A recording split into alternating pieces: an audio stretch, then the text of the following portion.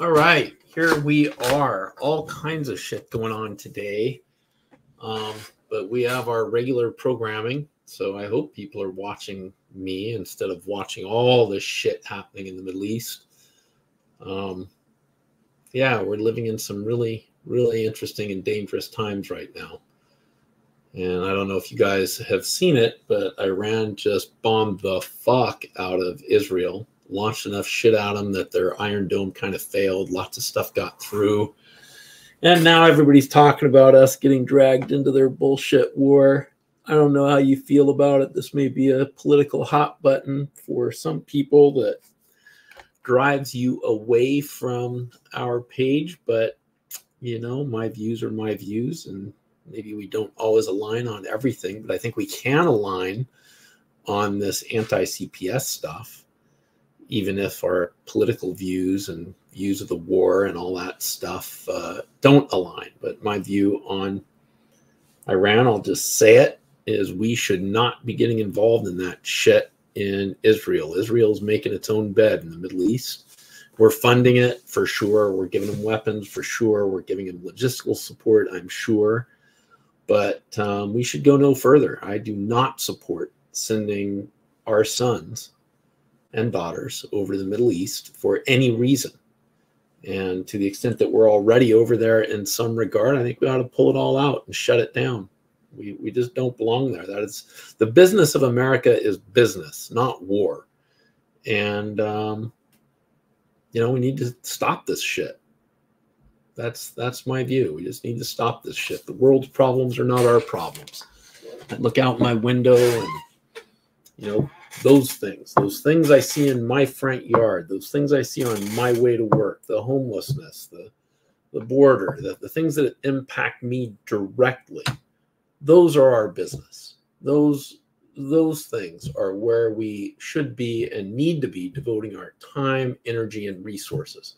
We don't need to be off fighting some fucking war in Ukraine or Iran or Israel, some shit like that. We just need to get out of this crap and focus on our own house first.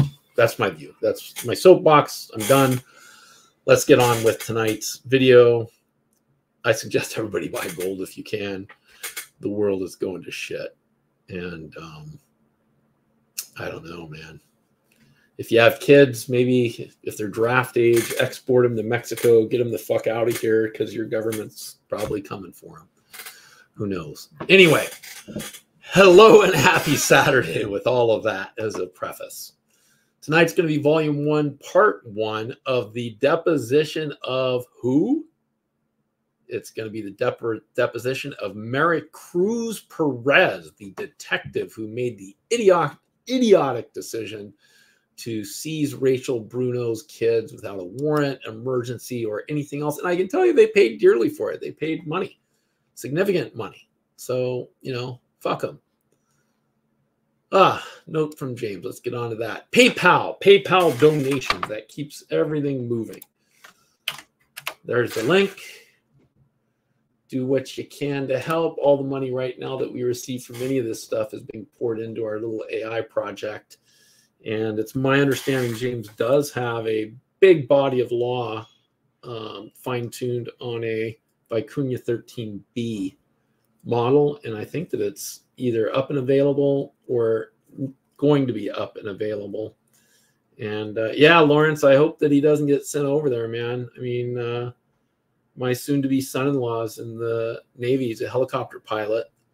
Luckily, he just got transferred to a space systems division. So that's basically a desk job. But the way I see it, we're going to get drug into this shit. We have all these war hawks in Washington just chomping at the bit to send our sons and daughters overseas to die. And um, I don't know. I just I just hope we don't end up where I think we're going to end up. This is uh, doesn't matter where he is, man. If if they need a body, they'll suck him in. So and then who knows? I mean, maybe China takes this moment of you know multi-front weakness. I mean, we can't support a fight against the whole world. Everybody knows that. We're already what 30 something 33 trillion in debt. How are we going to finance a freaking world war?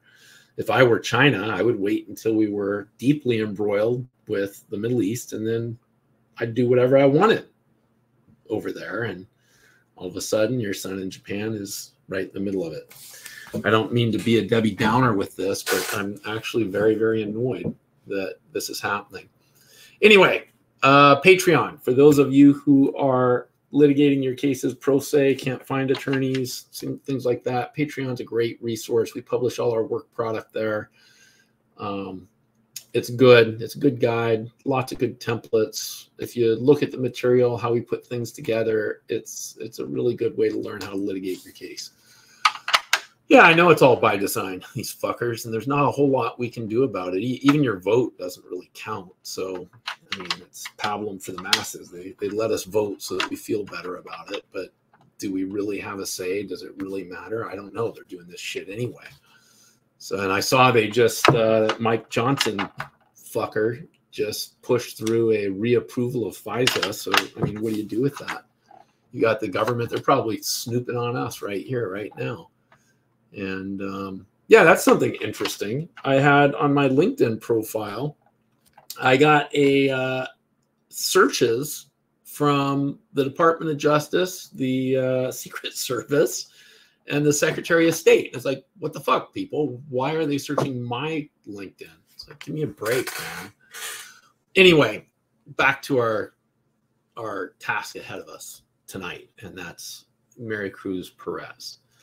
Remember, if you have any questions as we're working through tonight's stream or any other stream for that matter, please do send them into capsandstemslaw at gmail.com. That's C A P S A N D S T E M S L A W at gmail.com. And we will try to respond to your questions during the live streams during the week. For Patreon subscribers, that's an added benefit is that uh, your questions, if you put them in the messages tab, in Patreon. It sends me an email notification and I'll get back to you as quickly as I possibly can. Now, for the next month or so, I've got a deposition scheduled every freaking day for the entire month of May and most of the rest of the month of April. So it may be hard for me to respond to anybody, frankly. Lawrence, thanks a lot, man. Five bucks. Everything helps so much. Super sticker. Nice. Very much appreciated. That'll make James happy. To lay in some more cards once we get uh, enough money. We're going to see if we can't buy. Um, God, what version? What what is it? It's the 4090s, I think, the NVIDIA 4090s. The more those that we're able to lay into our system, obviously, the faster it trains, better it trains, all that stuff. It chews up a lot of electricity, but uh, I've got solar power, so you know it just eats up some of our back feed, which is okay. I'd rather use it for our stuff than give it back to the power company at, you know, less than wholesale prices. That's another thing where they fuck you. But um, yeah, you know, it's all stacked against us. It's kind of sad. Anyway, I, enough of that. Enough of that. I don't want to bring everybody down on a Saturday evening. It's a great day. Anyway, Maricruz Perez, Volume 1, Part 1, 30 minutes long. I will send out the Patreon link, James and uh, I will try to insinuate myself into each clip in order to keep the audience engaged. That's what he's telling me, keep the audience engaged. Well, here we go.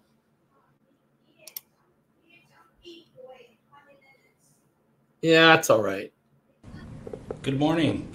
We are on the record. This is the digital video deposition of Maricruz Perez testifying in the matter of Bruno et al. versus County of Los Angeles et al. Case number 817CV 01301 CJCJDE. Today we are located at 555 Anton Boulevard, Suite 1200, Costa Mesa, California. Today's date is September 5th, 2018. Time on the video monitor is 10:05 a.m. My name is John Immel, I'm the video specialist with Jordan Media Inc. The certified shorthand reporter today is Michelle Hutton in association with Concord Reporting. Will counsel please introduce yourselves for the record? Shawn McMillan appearing on behalf of all plaintiffs. Mark McGrath on behalf of Children's Hospital of Orange County. Jeannie Towson on behalf of defendants, County of Orange, Nicole Stratman and Laura Todd. Chelsea Desmond on behalf of defendants. Christy Swiss, Collins, Collins, Muir and Stewart on behalf of defendant County of Los Angeles, Detective Maricruz Perez, who is present and the witness today, Detective Belen Lemus, Deputy Jason Schmoker, and Deputy John Lee. The reporter may swear in the witness. Please raise your right hand. Do you solemnly state that the testimony you will give in this deposition will be the truth, the whole truth, and nothing but the truth, so help you God? Yes. Good morning, ma'am. How are you this morning? Good morning. Fine. Good. Thanks for coming down today. Before we get started in earnest, if I could get you to state and spell your full name. that would be It's Maricruz appreciated. Perez. M A R I C R U Z. P E R E Z. Any middle initial, middle name? Okay. One thing that you'll have to try to do today, and I know it's a little bit stilted and unnatural, um, and I sometimes do get, tend to get a little conversational, but because we have a court reporter uh, trying to write down everything we say, I'll try to wait till you're finished, but you also have to wait until my question's out completely. And sometimes that's hard to tell because I kind of will stop in the middle and think about it and stuff like that. But if you can kind of pause in between and I'll extend you the same courtesy or at least try to, it'll make it a lot easier for her to do her job. We have video too, so I mean, if worse comes to worse, we've got that. But the official record is the written one. Okay? Okay. Okay. So what do you currently do Uh, I'm a detective, with? the Los Angeles County Sheriff's Department. How long have you been there? Uh, with the department? Yes. Over 22 years. How long have you been a detective? I believe I'm going on 13. Wow, that's a long time. Yes. Used to be, um, I didn't stick with anything longer than 15 years. I just kind of cycle through different, I've been through three or four different careers. And some, some overlapping, but uh, law is the longest one I've done so far. I'm thinking about, maybe it's too long. Anyway, that's my story, not yours. So 13 years, that would have been then in 2005-ish that you became a detective? Yes, I believe it was in 2005. What was the process that you went through to become a detective? Well, the first, well, I was a station detective initially. When was that? In 2005. Okay. How long were you a station detective? I believe that was about a year and three months. What is a station detective? Um, Same thing as a detective, but we handle various, or investigate various types of crimes, So not just one specific crime. I gotcha. Okay, so it's, it's more of like a generalist. Correct. Is that when you're when you say various types of crimes that include both felonies and misdemeanors? Correct. Okay. and then what did you do? What was the next step after that one year and three months as a station detective? Uh, From there, then I went to uh, Special Victims Bureau.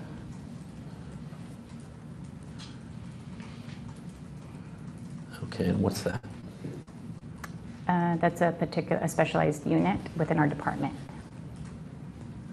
And what's the specialization? Uh, We handle specific crimes. Well, okay. What sorts of specific crimes? You're going to make me work today, aren't you? Uh, We handle um, physical abuse of children, sexual abuse of children, and we also handle um, adult sexual assaults.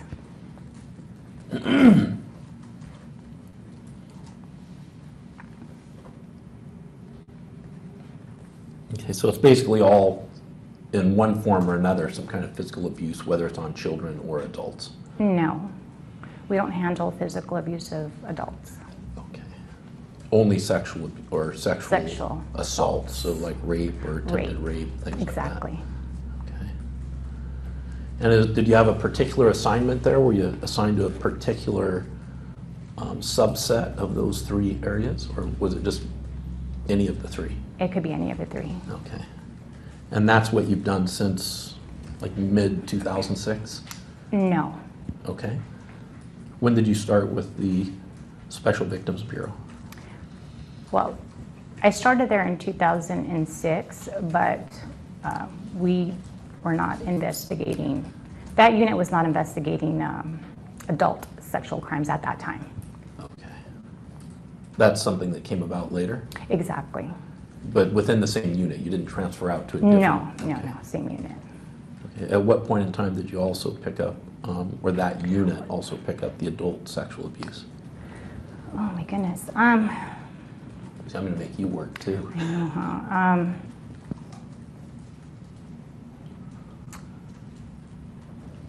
let's see.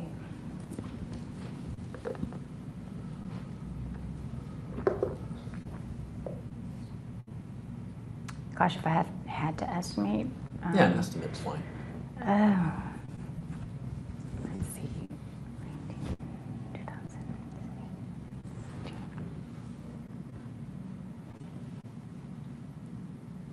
Maybe three years. We, So- we took over, maybe? It's like 2009-ish? No, we're in 2018. Oh, you mean three years ago? Yeah, I'm sorry. Okay, so like 2015. I think, I'm not sure. And that, that sort of raises an a important point. Anytime today, I'm going to be asking you about stuff that happened some time ago. And when we get into training and policies, stuff like that, it could be things that happened a long time ago. Right. So you don't have to give me, in fact, I, I don't expect you to be able to give me exact dates or times or numbers, things mm-hmm. like that. But I am entitled to your best estimate. So if you can estimate, you know, give me your estimate. If you really truly can't even give me an estimate, tell me that. Okay. So am I correct then that from 2006 to present, you've been with the Special Victims Bureau and you've been charged with the duty to investigate allegations of physical abuse on children, sexual abuse on children? Well, that, anyway, those two subcategories, it's correct, you've been doing that since 2006, right? Correct. Okay. And only recently have you added on responsibilities for investigating adult um, sexual assaults? Correct. Okay. Now, was there any specific training that you had or that you had to undergo to become a detective? Well, we did have, um, when I initially became a, a station detective, um, I remember uh, we went, they sent us to, um, I believe it was a week long, a 40 hour course. And that was um, for criminal investigations. Do you remember what that uh, course was called? I think it was called criminal investigations. That makes sense. Yeah. You said that was a 40-hour course? Yes. Were there written materials that accompanied that course?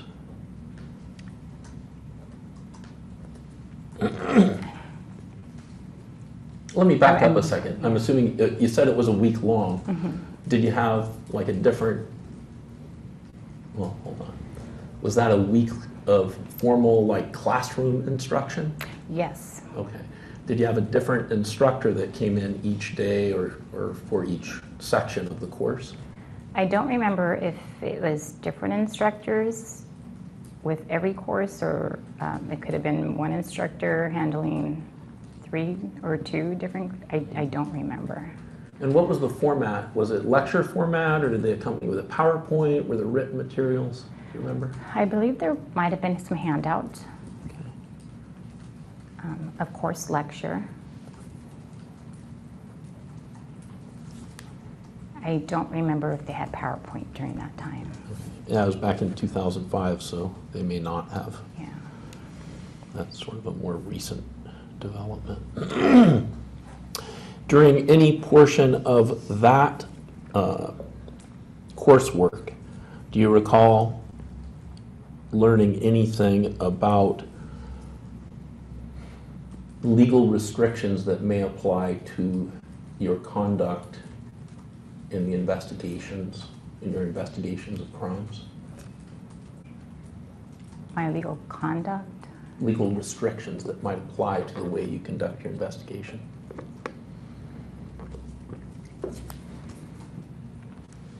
I don't remember exactly, um, I don't remember.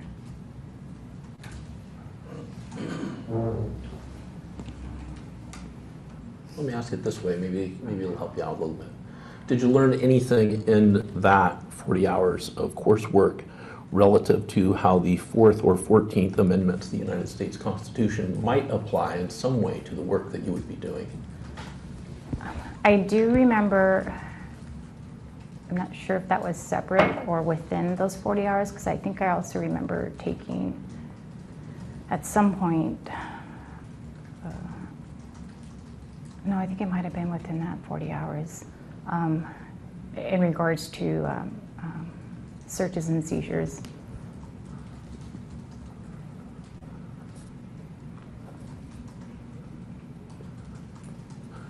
Let's go back a little bit further. I don't know how the sheriffs do it. Do you guys go through some sort of post-training or something like that? Or before you actually become a deputy? Yes, Okay, and what's, is it post-training? yes. And you recall through your post-training, well, let me ask this first. How many course hours of post-training did you endure? Well, I don't know how many post hours, but our academy at that time frame, um, I believe, was about six months. Six months. Now, you, you study a lot of stuff at the academy besides, um,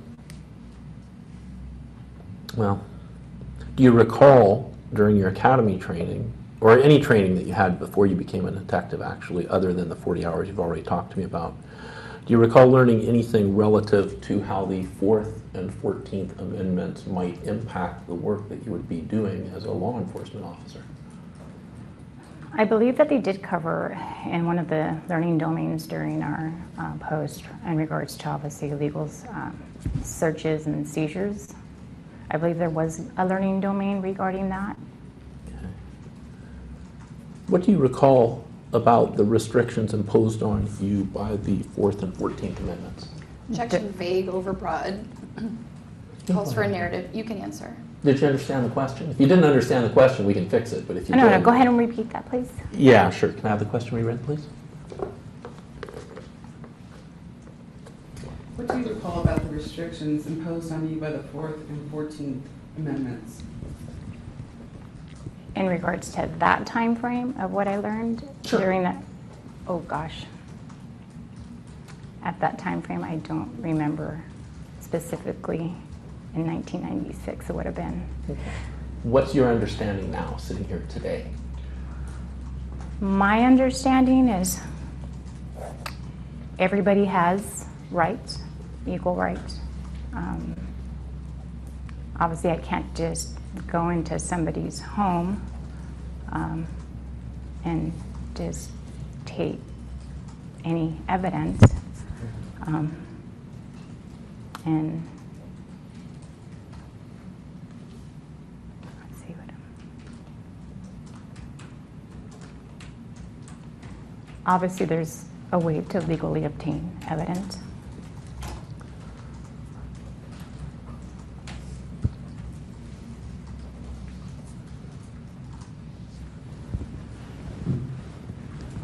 What is that? What do you mean when you say there's a way to legally obtain evidence? Well, there's different ways that we can obtain um, evidence in a case. Okay. And one of the things, obviously, that we learned is, you know, consent, Mhm. Um, getting a warrant, or um, exigent circumstances. I'm sorry? Exigent circumstances.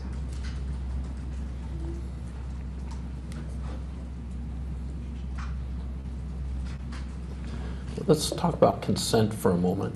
What do you mean when you say consent?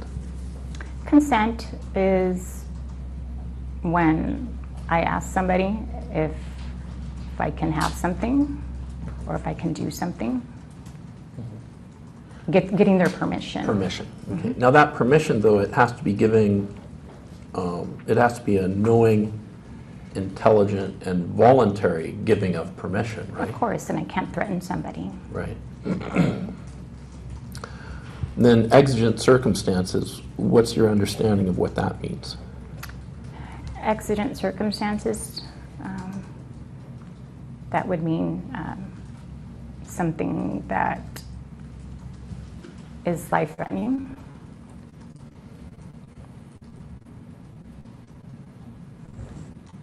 Or in this case, sometimes, you know, destruction of evidence. Participation of evidence. That would work too. Anticipation of evidence? Dissipation. Like somebody, you hear a bathroom, runs in the bathroom, you hear the toilet flushing, they're getting rid of evidence, you can bust in the door and grab it, right? Well, if there's other information, not just that. Right. When you say life-threatening, um, what do you mean? What are you referring to? Somebody's life is at stake, or um, it could be safety. um, It could be somebody who is in regards to like maybe somebody's, there can be, I guess, severe physical harm. Not just, well, yeah. So something life-threatening or where the person may suffer severe bodily or injury. Is there a temporal element to that, though? It's not just the danger, is, is there a time limitation? According to your training? Well, there is in regards to whether we would need to get a search warrant.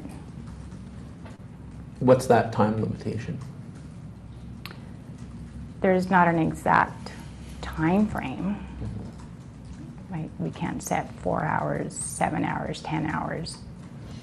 But when we're talking about exigent circumstances, aren't we talking about something that's immediate in nature? That- That's why you can't get a warrant. You don't have time to get a warrant. Um, Yes, it'd be immediate, well, yes, immediate. In fact, it's required by law that it be an immediate danger of some Right. kind, right? Right. Okay. Like the axe is falling, you've got to do something now to prevent whatever that bad thing is. Right. Okay.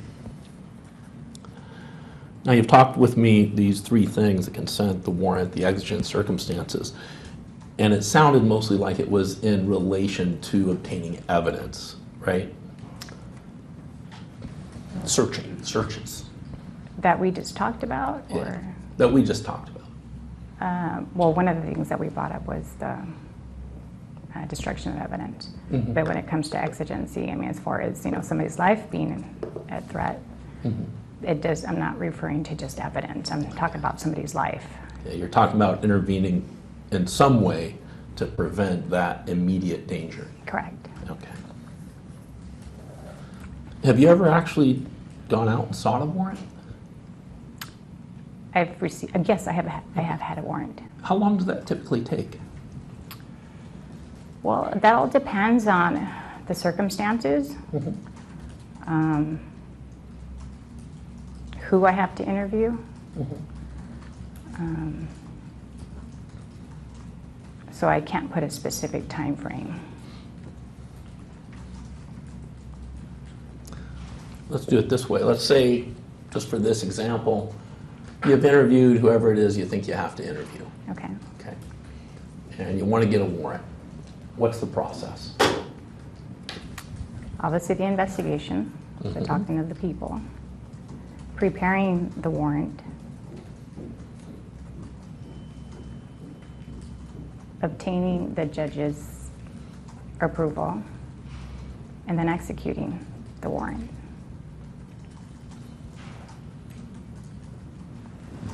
Okay, you've already done your investigation, so we're just talking about preparing the application and obtaining a judge's approval. Let's just stick to those two components. How long does that take on average?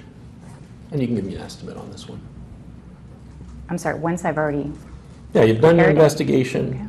Now you have to prepare an application, right? Right.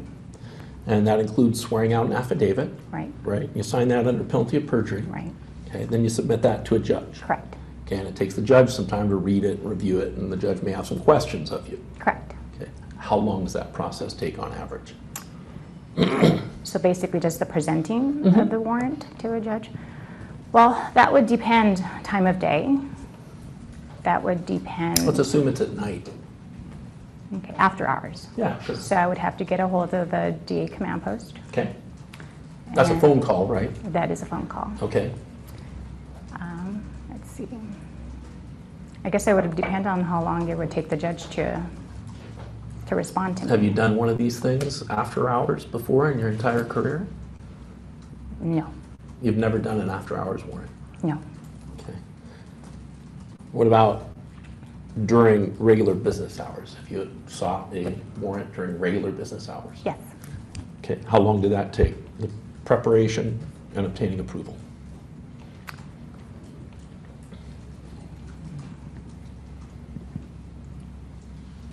I would say maybe a couple hours, the driving, Like two to three? depending on where I was coming from. Yeah, and then obviously if the on-duty judge, if he's hearing cases or. if They typically available. interrupt though if they're hearing cases and a warrant request comes in, right? Uh, It depends on the judge, and it depends on what type of case they're hearing at that time. So obviously, if they're hearing it- some type of jury trial, it might take uh, a little break before they see me, or sometimes they have looked at it as they're on the bench. Right. And that way they can take the next break and then either grant or deny your request. Correct. Okay. So that process, how long does that typically on average take? Is that the two to three hours roughly? Yes. Okay. Do you know what a, a temporary protective order is? Yes. Okay, what is that? Um, That is just basically, um, well, it's a protective order, it's similar to where I can call a judge uh, on an emergency basis um, and get a uh, protective order uh, or a temporary protective order, and I believe it's usually good for five business days, and that's typically done over the phone. How long does that take- typically take? Um, Well, in order for me to gather the information to prepare a protective order, um, I guess that would depend on the actual uh, interviews, so I couldn't say. let- let me ask you this way, because I'm, I'm sort of curious about that process. So just Sure. take me through it step by step. You're out in the field, you've done an investigation, you think you might need a, a temporary protective order. Sure. What are the steps that I would go through as one of your deputies? What are, what are the steps I would go through to get that order? I'll object as incomplete hypothetical, vague as to, as one of your deputies. If you understand the question, you can answer. Let's just, let's just assume I'm you. What are the steps that I'm going to go through to get that protective order? Well, you have to hear, well, you have to interview the parties that are involved. Do you have to do that personally, or can you just ask somebody else what they got in their interview? In order for me to obtain a protective order, Yeah.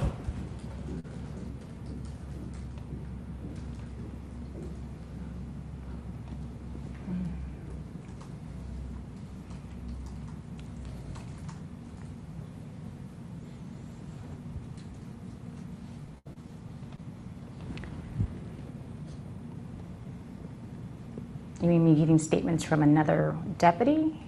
Yeah, that's a good Is that- example. I'm- I'm That's a good example. Let's, let's say, uh, yeah.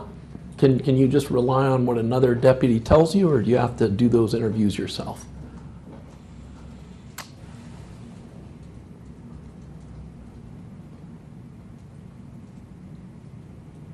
I would say I could rely on my partners to get that information.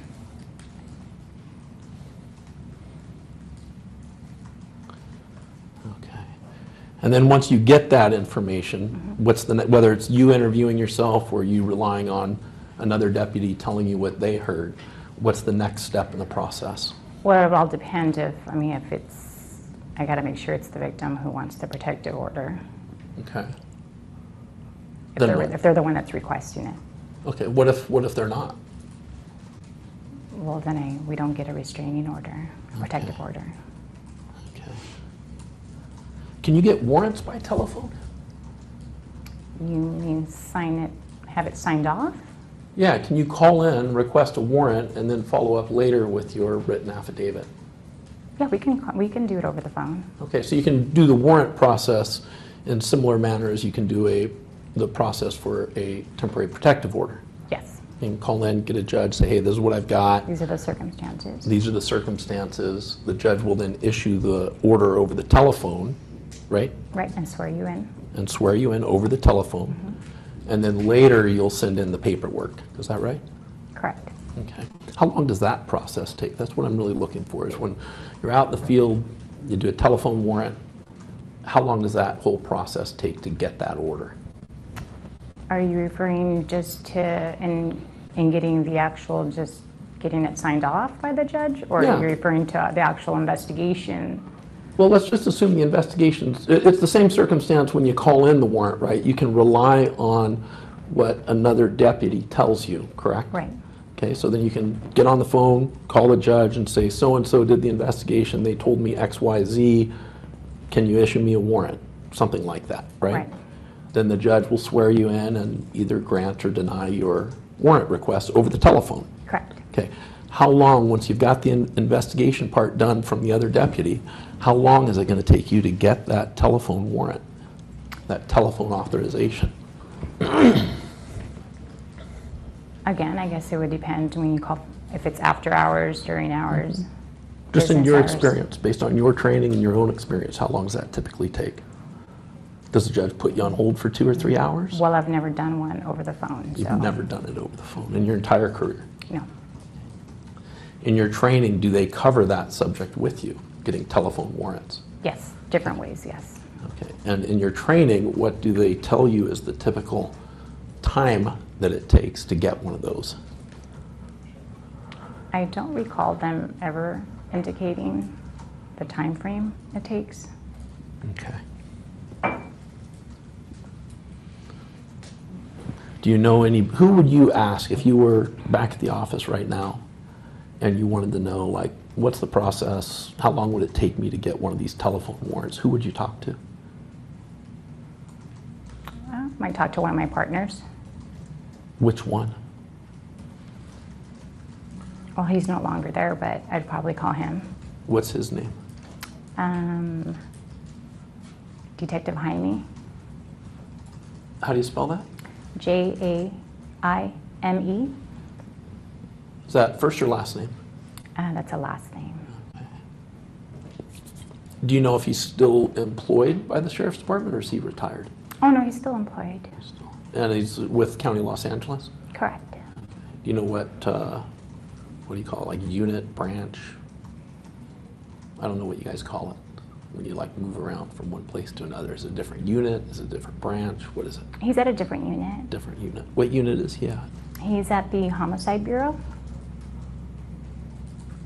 Is there anybody else in your unit who you might go to to ask how long it's gonna take you to get a telephone warrant?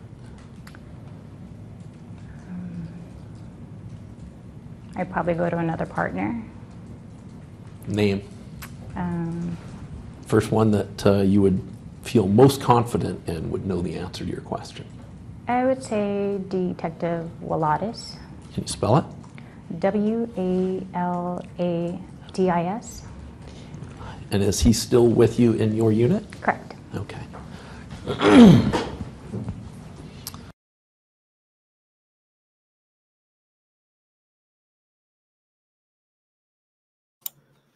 There we go. I guess we're just getting warmed up with her. So tomorrow night should be interesting. Lauren's question Did the CPS worker claim the police seized the child before handed them to CPS? Well, yeah, that was part of it. Actually looked like they all did it together, but you're going to find out. I don't want to be like spoiler here, but you're going to find out that this detective here, while she was in the car driving down from LA before any investigation had been done at all, ordered a hospital hold be placed on the Bruno child. So this all comes out though. I, I don't I don't want to spoil it. So, but anyway, yeah, she was an integral player. They were all integral. They all paid through the nose for their errors, um, all of them. So yeah, it was good. Uh, Patreon questions. There are none tonight. Caps and stems questions. There are none tonight. So thank you all for attending tonight's stream. And oh, James is going to be pissed. I didn't share the Caps and Stems Patreon link. Damn, I meant to do that, but I just forgot. So here, I'll do it right now. Um, remember, it's a good resource, man. Whether you're an attorney getting into the area of law or a pro se plaintiff, there are is a there is a ton of stuff up there, and it's very well worth it. Yeah, Steve, you do need to watch it because I didn't give you the uh, details. If you want the details, you gotta watch, man. Uh, Goddess of Kratos, cool song. That was actually pretty well done. Very much appreciated. Very cute. Tomorrow will be Maricruz Perez Volume 1, Part 2. Remember, if you have questions, email them in to capsandstemslaw at gmail.com. Again, that is capsandstemslaw at gmail.com. And I'll push it right up there. There, you can see it right there in the corner. Uh, we'll answer questions periodically throughout the week, although it may be rough. I don't know how many sessions I'm going to be on next week as we work our way through Detective Cruz because I just got depositions up the wazoo, which is good for you guys because there's a lot of new material coming out of this stuff. Um, but anyway, just a reminder if you look right below the video, there's a video description. If you click or tap show more, there are tons of links to catch up on, review past videos, as well as the Patreon link. If you guys are enjoying the content, please show your support by liking, sharing, commenting, and subscribing. We really do hope the content helps you navigate through whatever challenges you're facing. I mean, that's the whole reason we're doing this. Heather Bostick, quick answer to your question, says, How often does CPS get denied a protective order? I think almost never. I'm pretty sure that if they make the application, it gets granted. So, anyway, all it does is sort of put some brakes or a little a, a little roadblock, a little bump in the road on their way to seizing your kid. But you know, if they lie in their warrant affidavit, they'll get sued for it. They can't be lying. So anyway, thank you, thank you, Lawrence, thank you, Karen, thank you everybody for joining us tonight.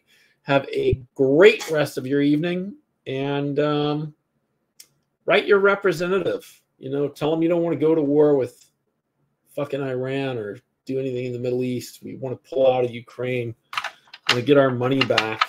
want to start focusing on our own problems and not worry about the rest of the world's problems. We're not, you know, we're not their keeper.